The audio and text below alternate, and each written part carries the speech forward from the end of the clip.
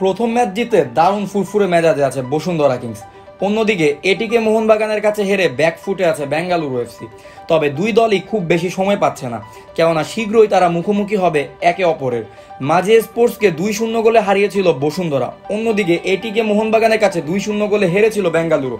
বসুন্ধরার সামনে সুযোগ, ম্যাচটা জিতে পরের রাউন্ডে এক পা দিয়ে রাখা, অন্যদিকে এই ম্যাচে ড্র কিংবা পরাজয় টুর্নামেন্ট থেকে এক প্রকার বিদায় নিশ্চিত করবে বেঙ্গালুরু।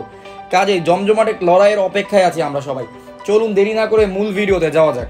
বসুন্ধরা কিংস বনাম বেঙ্গালুরু এফসির মধ্যকার ম্যাচটি অনুষ্ঠিত হবে আগামী একুশ তারিখ বাংলাদেশ সময় বিকাল পাঁচটায়। মালদ্বীপের মালেতে দেশটির জাতীয় স্টেডিয়ামে খেলাটি অনুষ্ঠিত হবে। বাংলাদেশের টি স্পোর্টস খেলাটি সরাসরি সম্প্রচার করবে।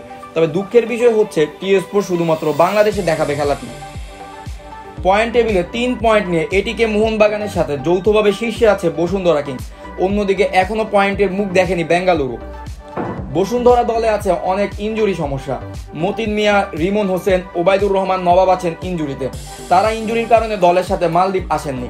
এছাড়া রাহুল বেসেরা ইঞ্জুরি নিয়েই খেলেছেন, যা তার খেলায় প্রভাব পড়েছে।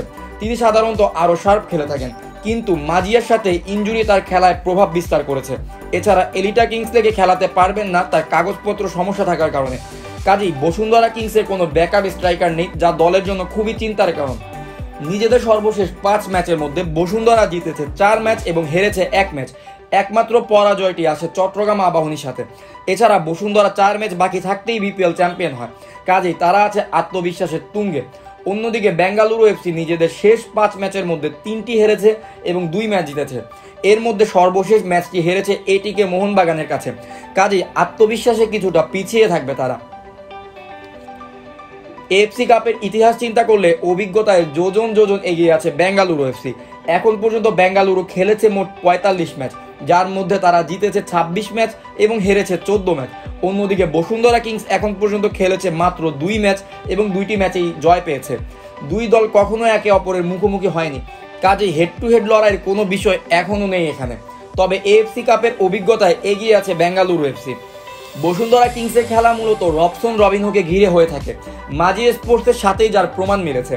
পুরো ম্যাচ জুড়ে দুর্দান্ত ছিলেন তিনি। একটি গোল তো পেয়েছিলেনই, পেতে পারতেন আরও গোল। দুর্দান্ত খেলে ম্যান অফ দ্য ম্যাচের পুরস্কারও তিনি জিতে নিয়েছেন।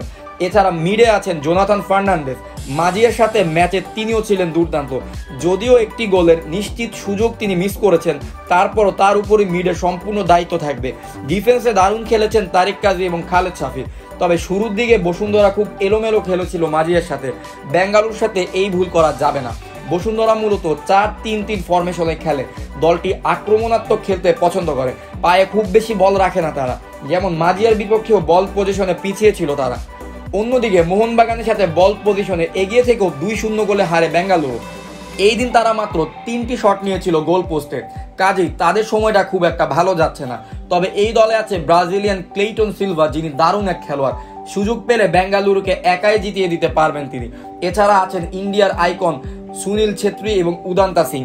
অবশ্য গত ম্যাচে খুব একটা ভালো খেলতে পারেননি সুনীল ছেত্রী। সাতষট্টি মিনিটে তাকে তুলে নেয় কোচ লিও আগাস্তাইন। বেঙ্গালুরু মূলত চার দুই তিন এক বা চার চার দুই ফরমেশনে খেলতে পছন্দ করে। পায়ে বল রেখে, অর্থাৎ বল পজিশন ধরে রাখতে পছন্দ করে দলটির কোচ লিও। বসুন্ধরার শুরুর একাদশে খুব বেশি পরিবর্তন আসবে না হয়তো। মাঝের সাথে ভালো খেলতে পারেনি সুফিল। তাই হয়তো তার বদলে দেখা যেতে পারে ইব্রাহিমকে। দলটির শুরুর একাদশ অনেকটা এমন হবে। জিকো, তপু, খালেদ শাফি, তারেক, বিশ্বনাথ ফার্নান্দেস বিপ্লু, জনি, ইব্রাহিম, রবিনহো এবং রাহুল বেসেরা। অন্যদিকে বেঙ্গালুর দলে কিছুটা ইঞ্জুরি সমস্যা আছে। আশিক কুরুনিয়ান ক্লাব ইকুলসের সাথে ইনজুর্ড হয়ে মাঠ ছাড়েন। তাই তিনি সম্ভবত খেলবেন না। বেঙ্গালুর তাই হয়তো অনেকটা অপরিবর্তিত একাদশ নিয়েই মাঠে নামবে। তাদের একাদশটা অনেকটা এমন হতে পারে।